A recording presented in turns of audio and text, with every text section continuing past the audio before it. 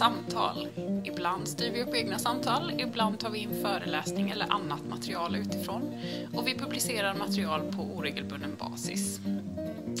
Om du vill bidra eller ge oss respons så hör gärna av dig till kontakt anarkism.info eller skriv till oss på Facebook. Nu börjar podden! Ja. Jag heter Jonas Lundström. Jag bor i Brickebacken i Örebro tillsammans med eh, en livskamrat och två tonårsbarn. Och eh, jag brukar säga att jag är frivilligarbetare, eh, aktivist och författare. Men andra kanske skulle säga att jag är arbetslös. Det beror på hur man ser på det. Ehm, Väldigt kul att ni ville komma hit och lyssna den här timmen. Hoppas ni inte blir jättebesvikna för det. Ehm, det finns en hel del fördomar mot anarkister, men anarkister är med rätta kända för sitt snuthat. Jag tror att för många så framstår det som väldigt eh, apart att eh, avsky polisen. Eh, polisen är en av de svenska samhällsinstitutioner som har allra högst förtroende, betydligt högre än riksdagen och Svenska kyrkan. Eh, och eh, efter den här lastbilsattacken så eh, nådde poliskramandet nya absurda nivåer. Eh, och sossarna passade på att överträffa borgarna genom att efterfråga 10 000 nya poliser. Så att svenskar älskar deckare med sin eh, ganska barnsliga och svartvita så här tjuv och polisvärldsbild är kanske inte så konstigt. Eh, så här finns ett slags gap mellan anarkister och svennar. Och om inte anarkismen vill vara bara en obegriplig sekt eller subkultur så är det inte fel att försöka förklara lite grann kanske ibland. Om eh, man har en arbetskamraten eh, Anna som är orolig över brottsligheten eller eh, farfar Fredrik som funderar på vad man håller på med så eh, är det inte fel att kunna förklara lite grann eh, bakgrunden till varför en inte gillar polisen. I, I, slutet av min bok som heter eh, Batongerna slår neråt, en berättelse om brottsbekämpning, så finns eh, orden No justice, no peace, fuck the police, som ni kanske har ropat någon gång. Och min dröm med att skriva den här boken är att en hyfsat kritisk person som inte är anarkist ändå på slutet ska känna att jo, men det är en hyfsat rimlig attityd ändå. Och ambitionen med det här korta föredraget är inte att slå in öppna dörrar utan att eh, försöka ge en glimt av att det finns eh, goda grunder även i etablerad forskning för att vara kritisk eh, mot polisen och rättssystemet.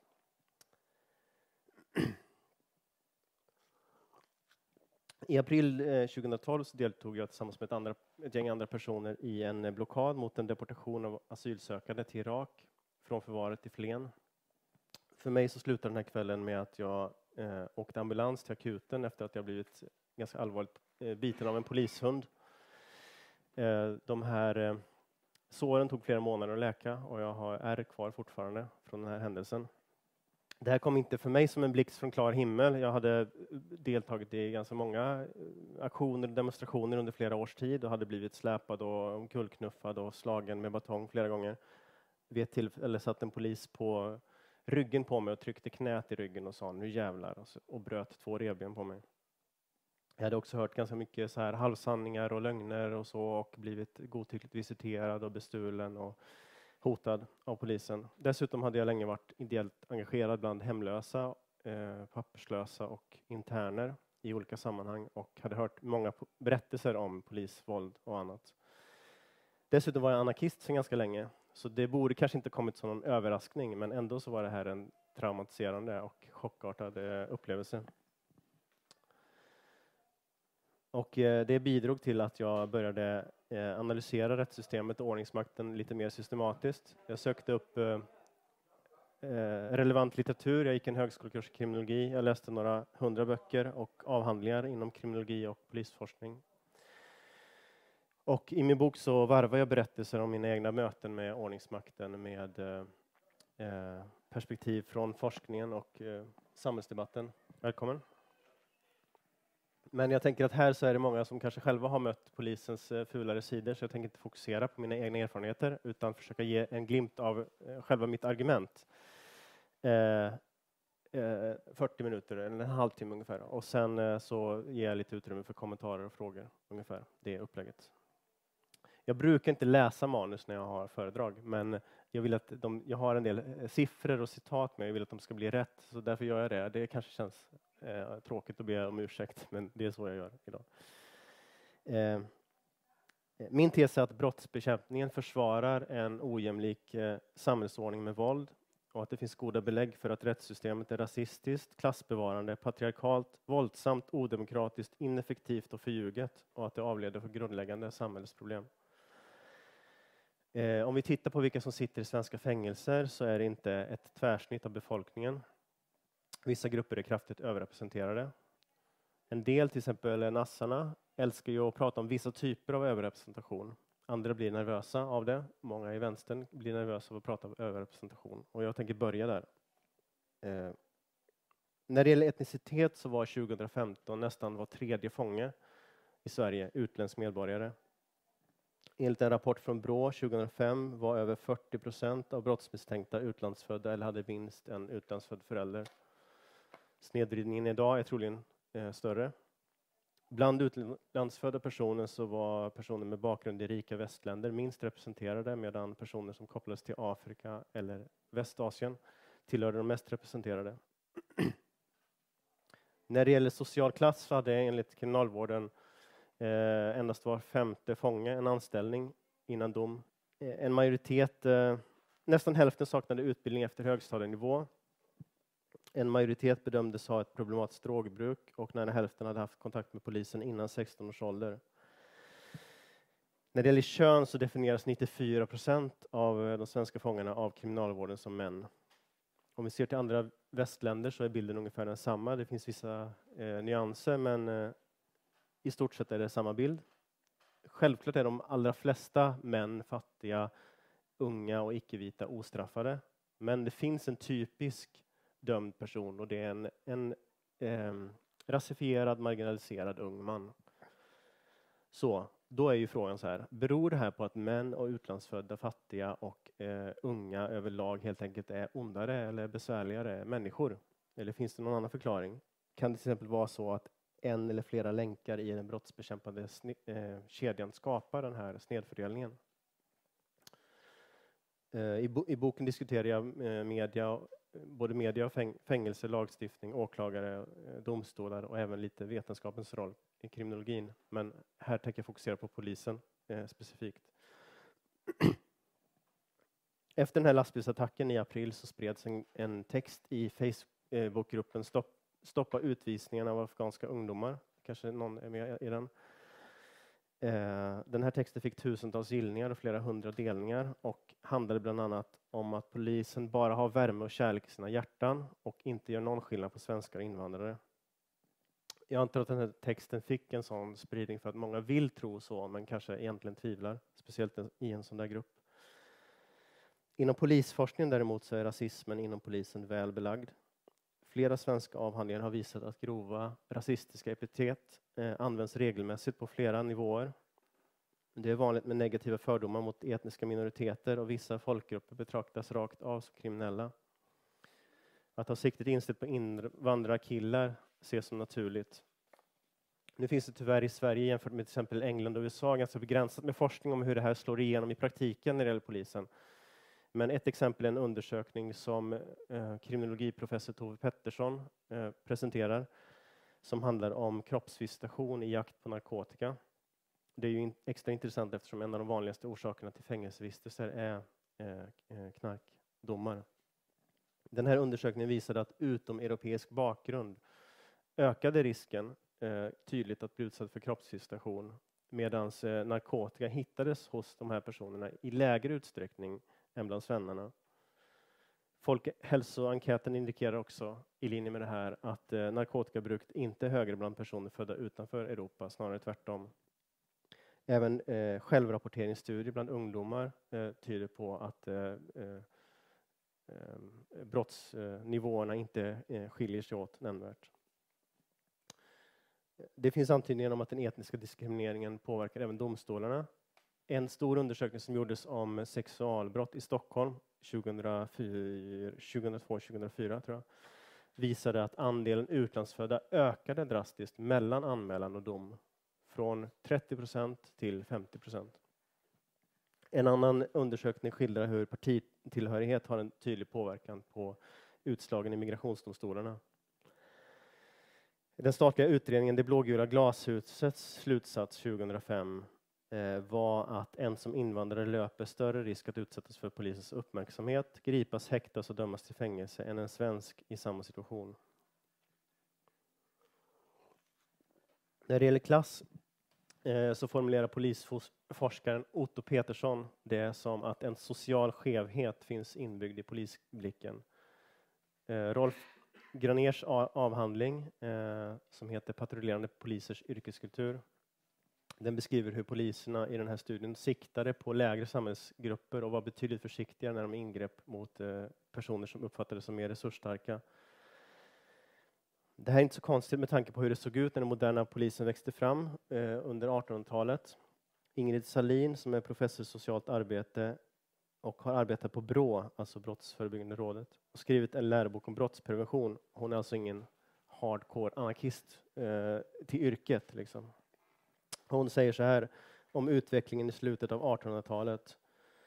I storstäderna utvecklades en professionell polis som med hjälp av spioner och informanter såg till att syfilister, alkoholister, utvecklingsstörda, vagabonder, invandrare och kriminella blev föremål för registrering, dokumentation och internering.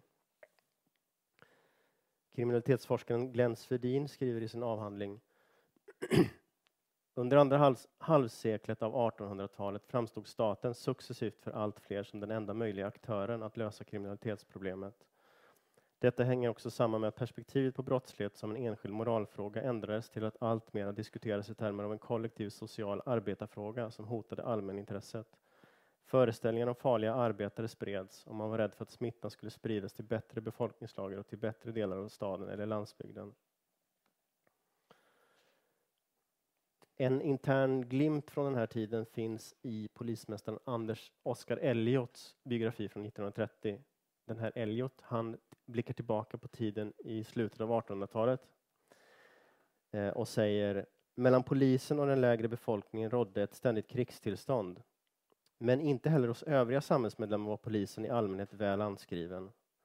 Det är intressant att notera, det här har alltså förändrats drastiskt i så fall, om han har rätt. Att den lägre befolkningen icke var några polisvänner var helt naturligt. Den var ett oroselement mot vilket polisen ständigt måste stå väpnad och som ej respekterar något annat än den överlägsna styrkan. Och så måste vid rekrytering av polispersonalen särskild hänsyn tagas till behovet att erhålla starka och kraftiga karar. Och nu kan jag erkänna att polisens starkaste medel att sätta sig i respekt hos bråkmakarna den här tiden var smörj. I den egentliga staden innanför vallgraven kunde detta dock ej komma i fråga. Där rådde civiliserade förhållanden. Men i förstäderna, i synnerhet i Masthugget och Majorna, var det en lång tid enda sättet att upprätthålla ordning. Eh, Elliot var politiskt liberal eh, och eh, filantrop och eh, var, var därför ganska kritisk till det här. Men han säger ändå, han, han tänker också att mycket har förbättrats när han skriver sin biografi 1930, men han säger ändå jag kan icke helt och hållet undertrycka den uppfattningen att det finnes, eller åtminstone funnits, naturer på vilka ej annat än smörj hjälper. De är som okynniga hundar, bliver de icke straffade omedelbart efter de gjort något ont har de glömt sin förbrytelse och veta icke varför de får sitt straff. Eh, oavsett politiskt styre så har den här klassstrukturen i kriminaliseringen bestått. Och den präglar även lagstiftningen som i hög utsträckning skyddar de rikas egendom. Grov stöld eller grovt häleri ger till exempel i allmänhet betydligt högre straff än misshandel och olaga hot. Den norska polisforskaren Liv Finstad har utvecklat analysbegreppet polisblicken. Poliser ser inte världen som alla andra. Det finns ett distinkt polisperspektiv. Vissa saker syns på ett visst sätt, andra inte. I den polisiära världsbilden så delas människor in i tydliga kategorier. De är poliser, busar eller svennar. Det finns till och med en avhandling av en polis som heter så, som har poliser, busar eller svennar i titeln. Polisens kultur och träning skapar en misstänksam blick som söker det avvikande och jobbar mycket utifrån fördomar och yttre attribut. Polisblicken färgas bland annat av att polisen är en väldigt patriarkal organisation. I mitten av 90-talet var 86 procent av de polisanställda män fortfarande. Idag är det lite mindre, två tredjedelar, men på chefsnivå är tre av fyra män, vilket gör det till en av de mest eh, patriarkala organisationerna i samhället. Den traditionella normativa mansrollens sätt att se på världen är ju präglat av eh, makt, eh, våld och vapen i hög utsträckning. Det här gör också att polisblicken söker sig mycket till eh, just eh, utåtagerande, öppet normbrytande eh, eller marginaliserade unga män. I det traditionella polisbegreppet buse ingår underförstått att det rör sig om en man. En ekonomisk brottsling betraktas inte heller som en buse. Snutblicken präglar också vad en inte ser. Exempelvis finns en lång rad exempel på hur våld mot kvinnor inte tas på allvar. Flera forskare har talat om hur insatser mot kvinnovåld uppfattas som ett skitjobb eller åtminstone inte som riktigt polisarbete. Flera undersökningar antyder att det inte är ovanligt att offret skuldbeläggs. Mer än en tredjedel av de män som misstänks för misshandel eller kvinnofridsbrott förhörs aldrig. Det verkar heller inte ovanligt att eh, poliser begår övergrepp i eller utanför tjänsten en artikel i British Journal of Criminology från slutet av 90-talet redovisar en enkät i vilken 62 procent av de kvinnliga poliserna sa sig ha blivit utsatta för oönskad beröring av kollegor de senaste sex månaderna. Det är ganska anmärkningsvärda siffror. En av informanterna beskrev polisen som den mest sexistiska, homofoba och rasistiska delen av samhället jag någonsin mött. En svensk polis på hög position som lämnade in en anmälan 2016 talade om en mycket, mycket sjuk manskultur. En av Rolf Graners informanter säger om man sitter i ett buss ett helt pass och inte en enda kvinna kan passera utan att någon kommenterar hur och från vilket håll man borde tränga in i henne så blir det ju tröttsamt.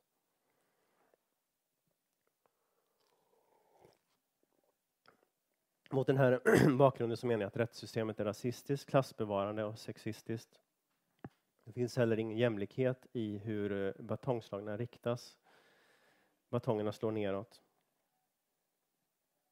Från den här riktningen neråt så tänkte jag eh, fokusera lite på redskapen som används, batongerna och nycklarna. Efter naziattacken på demonstrationen i Kärrtorp så gick Fredrik Reinfeldt ut och sa enligt Aftonbladet jag tycker illa om all form av våldsanvändning det är ju väldigt intressant att en statsminister kan säga något sånt här med tanke på att det brukar tillhöra själva definitionen av en stat att den har våldsmonopol. Men i vårt samhälle så döljs våldet bakom en icke-våldsretorik och blir ofta osynligt. Beväpnade styrkor kan patrullera gatorna och kolla att alla sköter sig utan att någon kommer att tänka på våld. Ett annat exempel är fängelserna som ju är en våldsinstitution som inte kan drivas utan passiva och aktiva vapen som eh, eh taggtråd, nycklar, batonger och pistoler.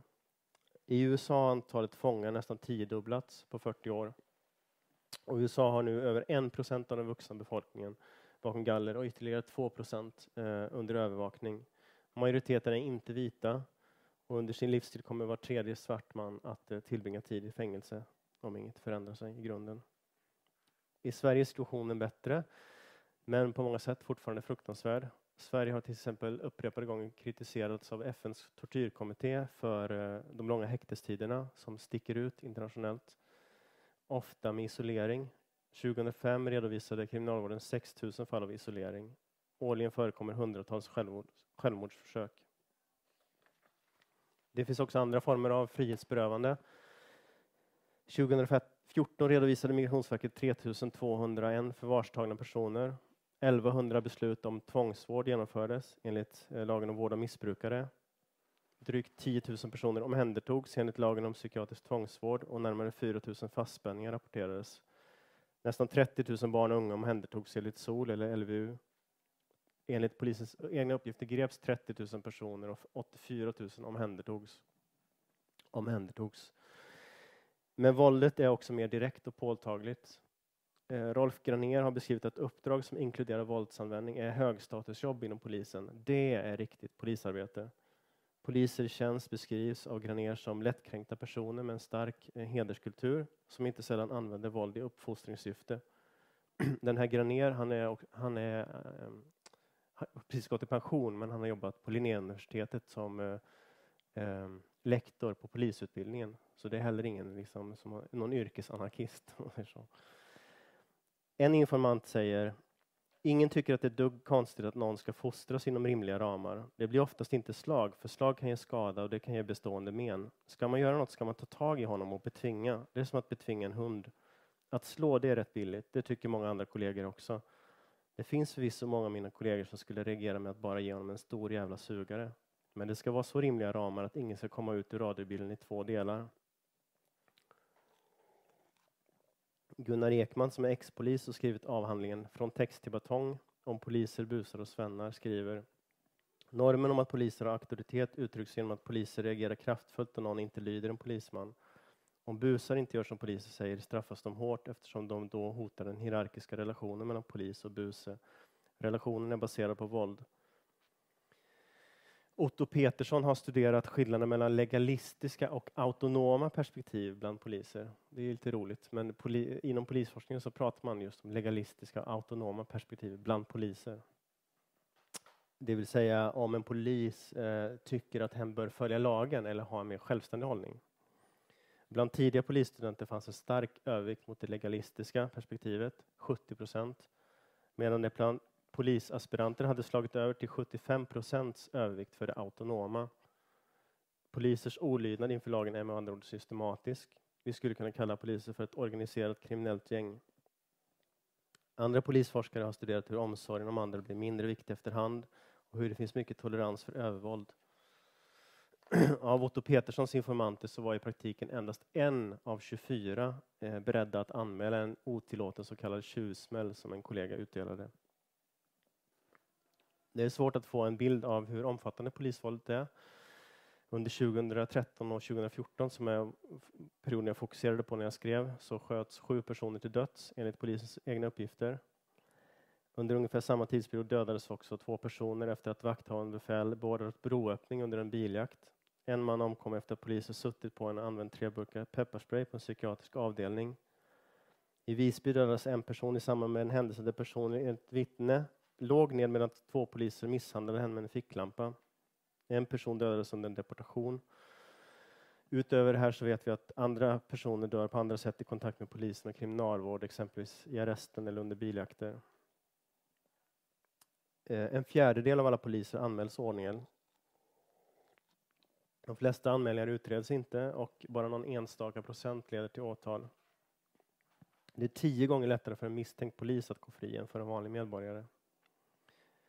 Att det är så här har flera förklaringar. Poliser skyddar varandra. Eh, polisforskningen talar om en tystnadskod. Ofta åberopas eh, nödvärn och då blir ju eh, bevisbördan omvänd. Åklagaren måste då bevisa att polisen inte kände sig hotad eller kunde haft någon annan grund för våldet. Dessutom upptäckte jag, när jag, som jag inte hade någon aning om, det finns något som heter putativt nödvärn, inbillat nödvärn. Det betyder att om en polis trodde att hen var hotad så kan det vara skäl nog att gå till attack. I ett exempel som docent Annika Noré granskat blev en polis frikänd efter att ha skjutit en bilförare som inte hade någonting med saken att göra eftersom polisen trodde att mannen kunde vara farlig. Ett litet exempel var polisen som bussade sin hund på en berusad man på gatan i Stockholm och gav mannen en stor mängd betongslag. Filmen publicerades av bland annat DN. Har ni sett den? Ja. Eh, jag har läst de domarna. Svea hovrätt menade att händelsen i objektiv mening utgjorde ett misshandelsbrott och att varken laga befogenhet eller nödvärn förelåg. Men polisen kunde ha upplevt sig hotad och frikändes därför. Eh, jag, eh, jag, tror att polisen hänvisade till att det var någonting med, ögon, med blicken som polisen hade fått lära sig på polisutbildningen. Att om blicken höjs på ett visst sätt, då är det en indikation på attack. Eh, om det nu är så att rättssystemet eh, skyddar en ojämlik ordning med våld, att polisen är rasistisk, sexistisk, klassbevarande och våldsam. Vad beror polistron på? Hur kommer det sig att alla ändå vill ha fler poliser? Det här är berättelsen om brottsbekämpningen, ideologin kommer in. En förklaring är att de flesta människor har en minimal kontakt med poliser och fängelser och därför blir de beroende av medias bild Media i sin tur brister rutinmässigt när det gäller källkritik i förhållande till polisen. Eh, och poliser har ett starkt intresse av att förmedla bilder och berättelser som gynnar de egna syftena. Polisforskare, även personer som själva har jobbat som poliser, har talat om budbärarjournalistik. Dagen efter den här blockaden som jag nämnde i Flen, eh, deportationsblockaden, så möttes vi av den här texten i Katrineholms-Kuriren. Under tisdagskvällen genomfördes en större demonstration vid Migrationsverket i Flen. Demonstranterna gick till attack mot såväl polis som buss. Mellan 30 till 40 maskerade personer byggde under tisdagskvällen barrikader med fordon och bråte vid utfarterna från förvaret för att förhindra att en buss med personer som skulle färdas till en flygplats för vidare transport till utlandet. Demonstranterna gick till angrepp mot polisen och bussen när denna skulle lämna förvaret. Ingen polis blev skadad i samband med attacken. Det är i nuläget oklart om någon demonstrant blev skadad. Eh, jag var den första av flera personer som blev hundbitna den kvällen och den som också först befann mig närmast bussen. Jag och en kamrat från Örebro, eh, en kommunpolitiker, båda omaskerade, hade då sprungit mot bussen när den började röra på sig och sen satt oss ner i armkrok mitt på vägen. Eh, en sittande attack med andra ord. En grupp poliser gick framför bussen och slog med batong och bussade hundar på oss. Två ambulanser stod i närheten och väntade, beställda enligt ambulanspersonalen av polisen i förväg.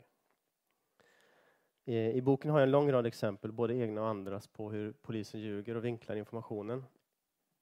En som behandlat det här mer utförligt är polisen och polisforskaren Stefan Holgersson som bland annat skrivit boken Polisen bakom kulisserna eh, 2014. Holgersson skriver Problemet är inte begränsat till någon enstaka person utan handlar om en kultur. Sedan år 2004 har jag systematiskt samlat in information om hur polisen presenterar sin verksamhet. Det är inte ovanligt att polisen undertrycker och förvanskar information. Det går numera att utgå från att polisen rutinmässigt gör en bedömning om vad, när, vad och i vilket sammanhang information ska presenteras.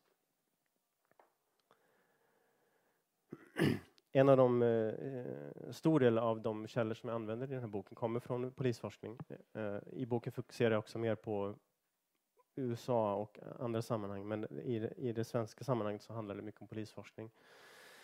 Eh, den lyfter fram många eh, problematiska aspekter av polisens arbete. Jag blev själv förvånad när jag började läsa in mig på det här, hur, hur tydligt det här var och hur öppet det här fanns tillgängligt egentligen. Eh, men de flesta som skrivit avhandlingar om polisen i Sverige är antingen själva poliser eller har någon form av eh, koppling till eh, polisen som utbildare eller på andra sätt. Så även om den bild som växer fram är kritisk i polisforskningen så är det inte konstigt att det blir eh, att eh, mer grundläggande ifrågasättande uteblir.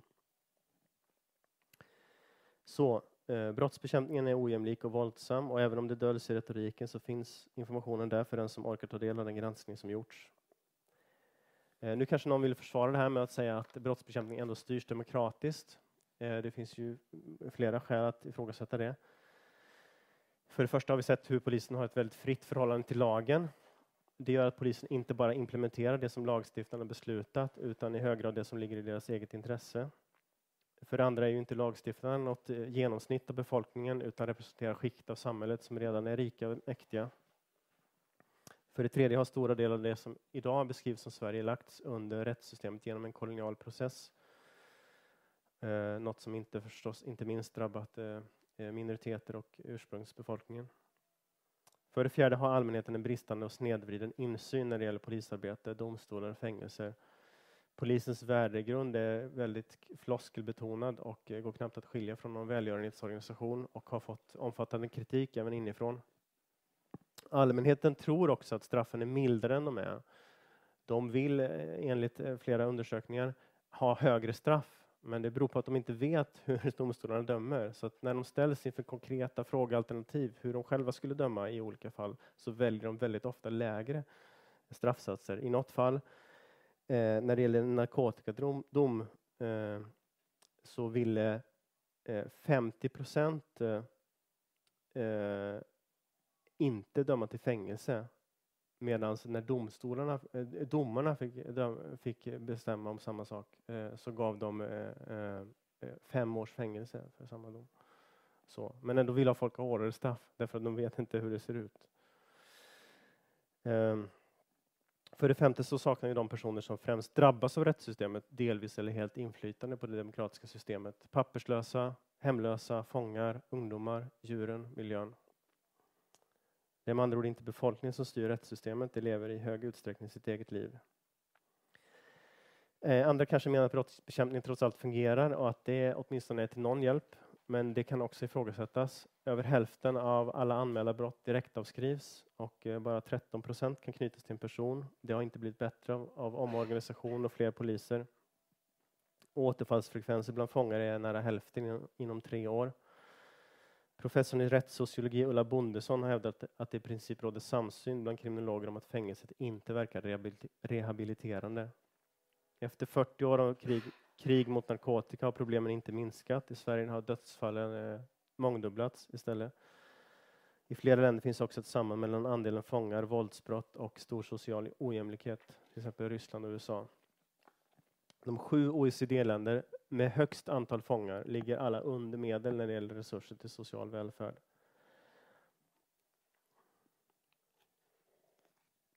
Sen beror det också på vad vi anser vara de grundläggande problemen i världen. I Sverige så är det varje år ungefär ett hundratal personer som dödas av andra människor. Det har legat där ungefär sedan 70-talet samtidigt som befolkningen har ökat så att i praktiken har det minskat. Det är ju förstås allvarligt men det finns ju andra bekymmer. Flera hundra personer dödas i trafiken varje år. Över tusen personer dör årligen för att de medvetet eh, orsakat sig själva skador. 5000 personer beräknas ha dött i sin flykt över Medelhavet förra året. Eh, lika många dör i Sverige på grund av luftföroreningar och lika många på grund av rökning ungefär, enligt officiell statistik. Ser vi lite längre så växer oron, eller borde växa i varje fall. Miljarder djur plågas och dödas varje år helt i onödan. En miljard människor hungrar eller svälter. Den rikaste procenten i världen äger mer än resten tillsammans. Massförstörelsevapen riskerar vår gemensamma framtid. Det industriella samhället bygger på fossila bränslen som är på väg att ta slut och vi står mitt i omfattande klimatförändringar. De jordar som vi alla är beroende av slits ut och eroderar. Samtidigt subventioneras fossila bränslen med fantasibelopp. Enligt IMF spenderar stater mer pengar på produktion av olja, kol och gas än på sjukvård. Skövling av miljö och ekosystem slår ut tusentals arter och på inte speciellt lång sikt är människans framtid som art eh, allvarligt hotad. Bakom alla de här dödstalen så står ju personer med inflytande. Många tjänar pengar på den verksamhet som vi vet leder till de här skadorna. Men nästan ingen av dem döms för brott. Tvärtom skyddas de av lagen. Här fungerar, tänker jag, brottsbekämpningen som avledning. Den riktar människors uppmärksamhet mot brottslighet och knyter den här till individer som avviker från samhällets normer och skymmer på så sätt de grundläggande problemen. Så, eh, jag menar att brottsbekämpningen är ett problem och inte en möjlighet. Eh, brott är en social konstruktion som används för att med våld skydda den rådande samhällsordningen som är kraftigt ojämlik och djupt destruktiv. Så hur kan vi i så fall bekämpa brottsbekämpningen? Flera alternativ är tänkbara och har förts fram. Om de är genomförbara kan ju diskuteras. Det skulle gå att tänka sig en kriminaliseringsväxling där både lagen och ordningsmakten organiserades på ett sätt som gjorde att det framförallt är privilegierade personer som kriminaliseras. Om det händer, då lovar jag att omvärdera hela mitt argument. Men vi får vänta till det då i så fall. Ett annat alternativ är att gå i direkt motsats riktning jämfört med nu. Att minimera rättssystemet, öppnare fängelser, mjukare straff, färre poliser. Ett tredje alternativ är att helt enkelt avskaffa polis, fängelser och domstolar. Personligen, som det är du för, just. Personligen skulle jag också rösta för det, eh, faktiskt. Men eh, trenden i samhället går ju snarare i, i mer auktoritär riktning och eh, kanske är det inte troligt att rättssystemet kommer att eh, avskaffas så länge vi har stater kvar. Men det finns eh, sakliga grunder för att misstro lagen, rättssystemet och ordningsmakten och ingen borde, tycker jag, vara inställd på lydnad. I dokumentären om Kevin-fallet, som eh, ni kanske har sett, en del av er, eh, annars rekommenderas den varmt. Långsam, men väldigt bra. Där pratar de här föräldrarna till de pojkar som till sist pekades ut som mördare felaktigt om hur de litade på, på polisen och därför överlämnade sina barn i polisens händer med förödande konsekvenser. Hade systemkritiska perspektiv på polisen varit vanligare så hade de kanske fattat en del andra beslut, tror jag. Ofta behöver vi såklart hålla oss inom lagens ramar, antingen för att det är det bästa eller av självbevarelsedrift. Men vi behöver också vara kritiska och tänka själva och tillsammans. Framförallt så behöver vi fortsätta göra motstånd mot förtryck, patriarkat, kapitalism, fascism och miljöförstöring oavsett vad rättssystemet tycker mot det, om det och mot polisen.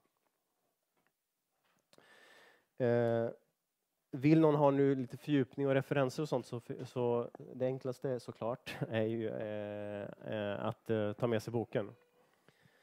Eh, det finns eh, 225 verk i litteraturlistan, 855 noter. Allting finns liksom refererat som jag sagt. Eh, jag rekommenderar en hundring, men om någon har taskigt med stålar så går det bra att få den gratis eller till en billigare slant också. Det går att swisha eller betala. Ja. Eh, jag vill gärna, om ni, vi hinner ju eh, tio minuter eh, frågor och eh, kommentarer om det är någon som har det eller är intresserad av det. Och då tänker jag en, liksom max ett inlägg per person till att börja med och max en minut per person. Och gärna att inte en vit man börjar eh, om det är möjligt. Du pratade om det här med hur man bekämpar brottsbekämpningen. Ja, ja. Um, men jag har ju alltid uh, undrat lite, även om jag håller med, så har jag svårt att ibland veta vad alternativet skulle vara. För jag menar, det finns ju brott som begås eh, som, är, eh, som också är liksom ett resultat av samhället, det här ojämlika samhället. Det här rika eh, ekonomiska brott, alltså eh, ja, våldtäkter, alltså fascistiska attacker, alla de här, den typen. Eh, om man tänker, man bortser från kriminalisering av narkotika till exempel. Ehm, men de andra typerna av brott som även vi ogillar. Mm, mm. Hur ska man, eh, vilket alternativ har man för att på något sätt bekämpa den typen av brott? Alltså som, som anarkister. Just det. Det är jättebra fråga, tycker jag.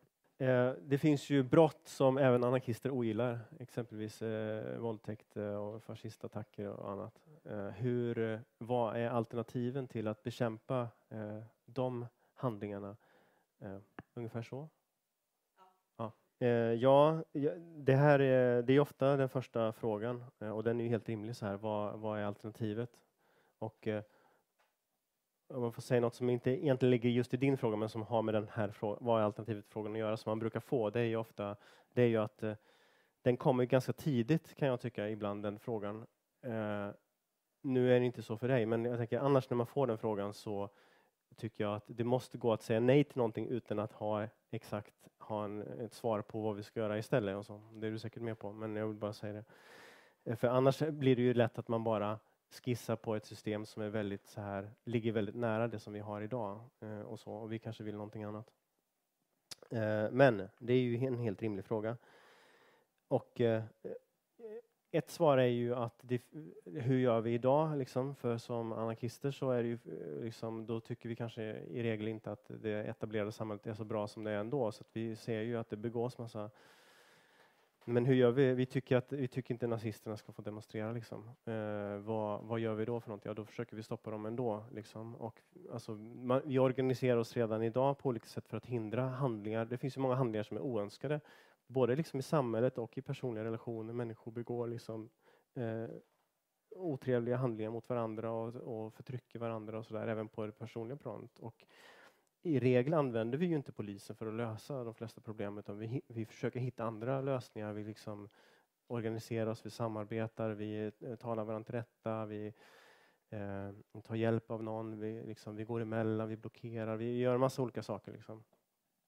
Eh, sen, sen finns det ju förslag liksom, eh, från, ofta är den, de ganska reformistiska, jag har inte gått in på det så mycket i boken, men det finns ju man pratar ju om, det- finns peacemaking criminology och rest, reparativ rättvisa. Och det finns olika system där man liksom eh, hämtar inspiration exempelvis från hur ursprungsbefolkningar har hanterat eh, konflikter och, och, och normbrott och sådär som inte liksom lutar sig mot våldsspecialister. Eh, och så. Det har inte varit mitt fokus i boken, men det är en superviktig fråga. Och, liksom, mm, men det finns, och det finns folk som har skrivit om det här. Vad gör, liksom hur, om vi inte ska ha fängelser och poliser, så hur hanterar vi de, det här? Så. Okej, tack. Eh. Någon annan?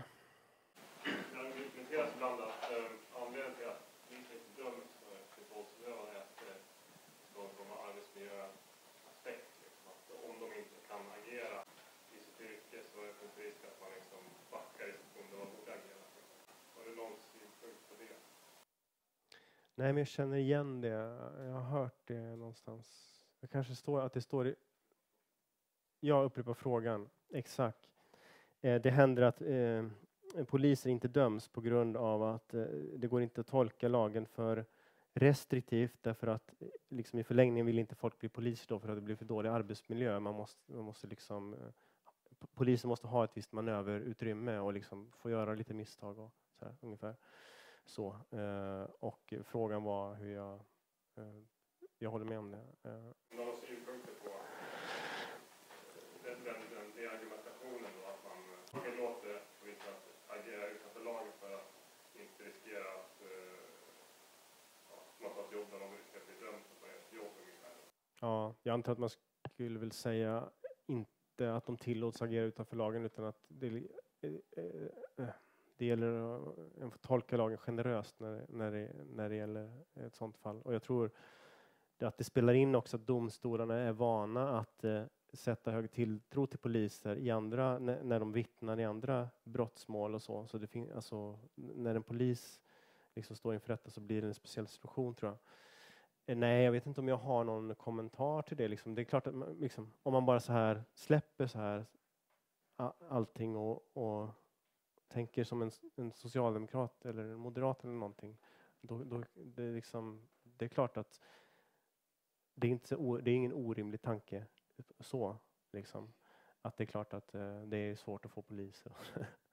jag kan förstå det om man, om man eh, Ja, har du, du kanske har någon egen, eh, något bättre svar på den frågan? Själv. Ja. Jag tänker att en stor del av det här handlar om liksom hur den som mer eller mindre tycker att det samhälle som vi har idag, det är ändå rätt okej okay, liksom, och det är värt att försvaras. Då liksom eh, då är det ju en del av den här kritiken som inte biter liksom på det riktigt. För då tänker, då, då tänker många, men det här är liksom så är det ju i polisforskningen. Det här är ju liksom små tabbar som finns liksom och eventuellt systemfel, men vi får leva med dem för det, det här är ett system. Så säger Liv Finstad, exempelvis, norska polisforskaren. Att eh, vi får leva, i alla mänskliga system så finns det liksom vissa systemfel och det får vi leva med. Liksom och så eh, så att det mycket beror ju på om vi vill ha liksom en mer eh, radikal eller revolutionär liksom förändring av samhället. Då blir polisen ett ännu större problem för oss, de av oss som vill ha det. Och sen beror det ju på hur man ser på ojämlikheten i samhället eh, och hur den drabbar och på, på det organiserade våldet. Så. mycket. Har du några egna tankar på hur man skulle kunna liksom, praktiskt dekonstruera det här systemet? alltså polis, eh, rättsväsendet, alltså hela den... Har du tänkt, har du någon liksom... Nej.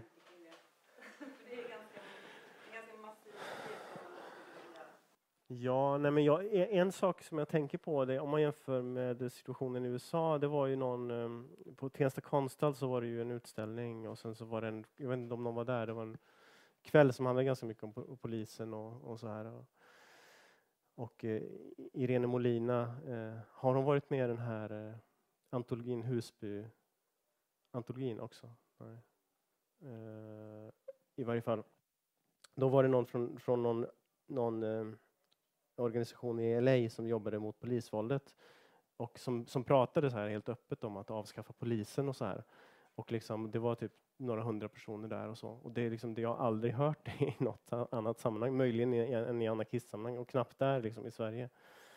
Eh, och så. så en sak som jag tänker vi skulle kunna göra, och kanske det är, kanske det är nästan i Sverige, är vi som måste göra det som anarkister, alltså att kritisera polisen som institution. Alltså varför har vi aldrig liksom ska jag prata om det här så här öppet? Varför har vi aldrig demonstrationer mot polisen specifikt? Liksom? Det är, alltid, för, för det, blir, det är ju alltid andra frågor hela tiden och då får, då får vi aldrig fokusera på polisen. Liksom. Men, men liksom, kan vi bidra till att liksom, polisen kommer upp som en fråga som inte... Eh, det är något, det, det, är något jag funderar över. Om det, i vilken, det har att göra med att samhället i USA och Sverige ser väldigt annorlunda ut. Men, men liksom,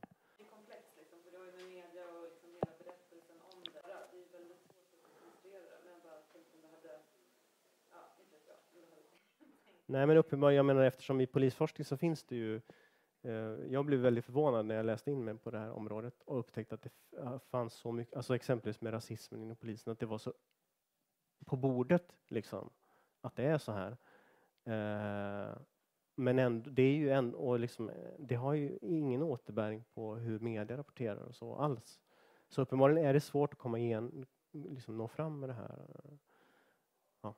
Hur det ser ut i internationell eh polisforskning och sånt för att eh, jag tänker att i, i, i, kanske inte så mycket i Sverige, men på många andra platser så är ju polisen någonting som, eh, alltså de, de är folk med liksom ganska låga maktresurser som blir poliser. Liksom. Mm. Eh, det är ett visst klientel som söker sig till polis för att, alltså det är ett underbetalt yrke med, med dåliga, liksom, och som led, skapar massa skit. Liksom. Eh, och i Sverige undrar man kanske samma sak. Vilka är det som söker sig till, vilka är det som blir, som går in i det här liksom och hur? Men på samma sätt som man diskuterar som en växande fascistisk rörelse, då har liksom vänstern misslyckats. Man borde kunna prata på samma sätt om att varför blir folk poliser, eller? Finns det något i det i forskningen? Ja, nej men absolut. Så här, hur, hur radikaliseras människor och går in i den här våldsbejakande organisationen? Egentligen, hur kan det gå så snett? Jag Jo, det finns en del av det ja, eh, faktiskt. Och, eh, eh en föreställning som har funnits är ju just även i Sverige då att det skulle vara personer eh, som kommer från lägre arbetarklass och så. Men det, det ser ut som, nu kommer jag inte ihåg eh, var jag har läst det, men jag har för mig att det är så att i Sverige så är polisen, är det inte riktigt så, utan det, det är lite mer medelklass liksom. Eh, Eh, så. Men det finns en del som har gjorts om det, men inte så, eh, så jättemycket. Jag antar att polisen själv har en del information om det eftersom det ligger i deras intresse. Och det är svårt att värva eh, folk och så. Men det vore ju väldigt intressant om någon kunde forska på det, liksom hur eh, liksom vad har man varit med för typ av erfarenheter och så. En, en gissning skulle ju vara kanske att det är människor som själva har råkat ut Alltså, det, det, finns ju ett humanistiskt motiv bland många poliser. Det har ju gjorts forskning på det. Att en, en, stor andel går in eh, som polis för att de vill hjälpa till i samhället. Liksom, och en kanske väljer så här mellan att bli sjuksköterska eller polis. Liksom, och så. Och sen finns det en del som handlar om att söka det här med action liksom, och spänning och det här med biljakter och, och sånt där. Och sen så tippar det över efter ett tag så att det här omsorgsmotivet försvinner. Det har det gjorts forskning på. Liksom. Men eh, jag tänker att det vore intressant att fundera på vilka erfarenheter av våld exempelvis har de personerna som söker sig till poliser? Finns det likheter med andra, hur man hamnar i andra eh, sammanhang och sådär? Ja, och många andra frågor. Det har gjorts ganska lite tror jag, men det finns en del där ute. Ja, eh, jag tror att vi får... Nej, eh, Justin har en, en fråga. Får jag ställa en fråga? Ja, ja. Jag är inte jättebra på att ställa frågor konkret, men eh, jag bara funderade på om... Eh, alltså jag tycker också, jag håller med om att man, man ska kunna säga nej utan att ge alternativ, men jag bara funderar på om... Eh, alltså jag tänker om man då ska säga att ja, men vi avskaffar polisen, att det är svårt att få med personer på den tanken. Ja.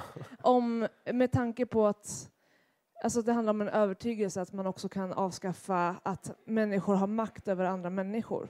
Alltså bara för att polisen försvinner så försvinner kanske inte automatiskt bara att vissa människor har makt över andra Nej, människor. Just det, just det. Och att prata om eh, eller jag vet inte, om, om du kan resonera någonting om det. För att, ja, ja, precis. Eh, varför är det relevant att avskaffa polisen om det inte förändrar eh, ja. Nej, precis. Och det, är ju liksom, det finns ju många failed states liksom, där det finns olika väpnade gerillagrupper som kämpar om våldsmonopolet istället. Liksom, och det kanske inte är mycket bättre. Liksom, det kanske inte är det vi vill ha liksom, i Sverige heller. Alltså, vad, eh, eh, så. Det, det jag tänker, liksom, möjligen går att få med sig, det skulle möjligen gå att få med sig, om, om människor ser att det finns problem med det här, då kanske det går att liksom krympa tilltron till det och att vi liksom, eh, som din, att, din första fråga, att vi för liksom eh, mycket av till exempel våld mot kvinnor och så, det, det, det, det pågår ju ändå fast vi har poliser liksom och så. Alltså att vi sätter vår tilltro till andra sätt, lösningar liksom på de här problemen som, eh, som vi ser. Det är svårt att få med sig folk på det, men, men, men jag tänker att det, går, det skulle gå att påverka åtminstone så att eh, flera av problemen kom fram, de strukturella problemen eh, och den här väldigt naiva liksom, nästan religiösa liksom, tilltron till, till polisen som institution, den, den borde ju liksom, det borde gå att påverka den till i en mer realistisk riktning och då kanske det kunde, vi kunde få liksom lite andra, det kunde öppna upp lite grann. Ja, eh, men eh, boken finns, så prata med mig om ni har fler frågor eller har fler eh, tips eller så. Tack.